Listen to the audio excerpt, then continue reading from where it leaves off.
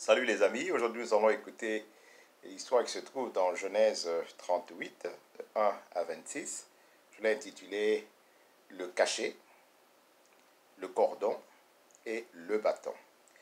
Alors c'est l'histoire de Judas qui a, épousé la fille de Choix et finalement ils ont eu trois garçons. Le premier c'est Er, le deuxième c'est Onan et le troisième c'est euh,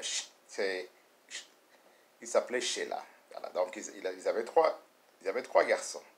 Alors euh, le papa, lui, il a décidé de marier euh, son fils à, à Tamar. Donc c'est lui qui a trouvé la femme, puis qui a donné euh, la femme à, à son fils Er. Donc Er avait comme, comme, pour, épouse, comme pour épouse Tamar. Il est resté avec Tamar, mais comme il était tellement méchant, et Dieu a décidé de le frapper par un sommeil éternel. Donc, euh, il n'était plus là. Et finalement, euh, après ça, le papa a dit, bon, écoute, Onan, comme ton frère n'est plus là, il faut que tu assures une postérité à, à, ton, à, ton, défunt frère. Et lui, finalement, il s'est rendu là, il est resté avec, euh, avec Tamar. Et au moment où il devait être intime, lui, il souillait la terre, malheureusement. Alors, Dieu a vu que cela n'était pas une bonne chose, il l'a également frappé d'un sommeil éternel.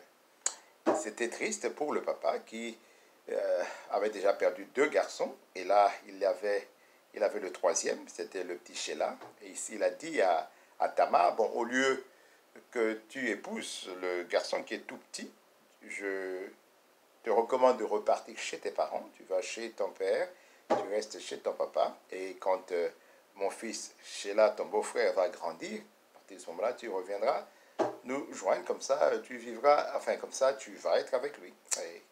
Et, c'est comme ça qu'ils se sont entendus. Et donc, la dame, la veuve, était obligée de quitter euh, la maison de, de, Judas. Finalement, elle est partie chez ses parents. Et entre-temps, euh, la fille de Choua est décédée, donc euh, la femme de Judas.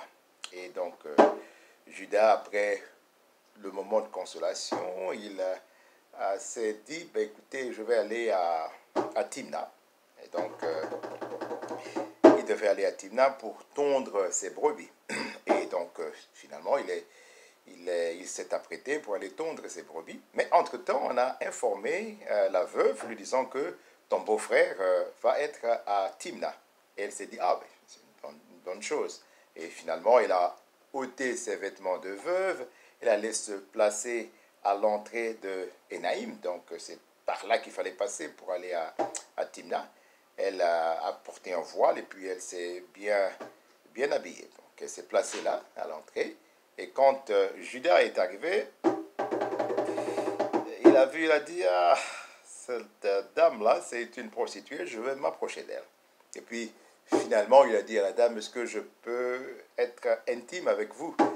La dame a dit, euh, qu'est-ce que vous allez me payer? Et finalement, il a dit, ben, je vais vous envoyer un chevreau. Et puis elle lui a dit, mais en attendant de recevoir le chevreau, si vous pouvez me donner un gage. Et puis Judas a dit, ben, qu'est-ce que vous voulez comme gage? Elle a dit, ben, ce que vous avez là, je veux comme gage que vous me donniez le, le cachet, votre cachet, donnez-moi votre cordon et donnez-moi le bâton que vous avez dans votre main. Et ça, c'est un gage en attendant de recevoir euh, le chevreau. Puis il a dit, il n'y a pas de problème, vous pouvez prendre. Puis finalement, il, a, il était intime avec, euh, avec, euh, la, avec la prostituée, ne sachant pas que c'était sa belle-fille.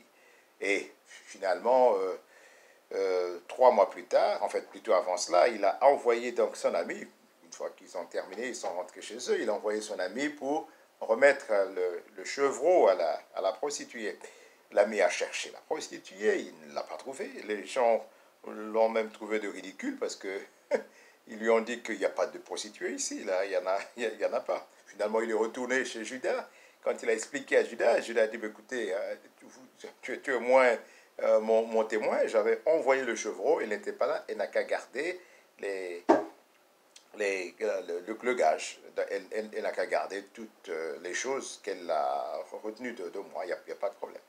Et finalement, trois mois plus tard, à peu près aux environs trois mois plus tard, on informe Judas lui disant que sa belle-fille euh, est enceinte. Bon, lui, il a dit, mais non, c'est pas possible en fait. Qu'est-ce qui s'est produit ben, Elle s'est prostituée, alors euh, c'est pourquoi elle est enceinte. Non seulement elle s'est prostituée, mais vraiment, le pire, c'est qu'elle est enceinte. Alors il a dit, oh non, sortez-la et brûlez-la. Alors euh, la belle-fille s'est dit, mais avant qu'on ne me brûle, dites à, mon beau-père que le, celui qui est l'auteur de cette grossesse, c'est celui à qui appartiennent toutes ces choses. Et puis finalement, elle a, elle a montré à, son beau-père le, le cachet, elle a montré à son beau-frère, le beau-père plutôt, le, non seulement le, cachet, mais aussi le cordon, et puis alors euh, le bâton. Alors quand le beau-père a vu cela, il était complètement gêné, et il a dit, elle est euh, plus juste que moi, parce que moi, j'avais fait la promesse de euh, l'appeler quand Sheila aurait grandi. Sheila a grandi et je ne l'ai pas appelée. Et elle, elle savait que Sheila avait grandi, c'est pourquoi elle a fait ce qu'elle a fait. C'est elle qui est plus juste que moi. Laissez-la tranquille. Et finalement, évidemment, on ne la brûla plus. C'est la fin de notre histoire qui se trouve dans le livre de Genèse, chapitre 38, versets 1 jusqu'à 26. Bonne journée à vous. Je vous retrouve la semaine prochaine. Au revoir.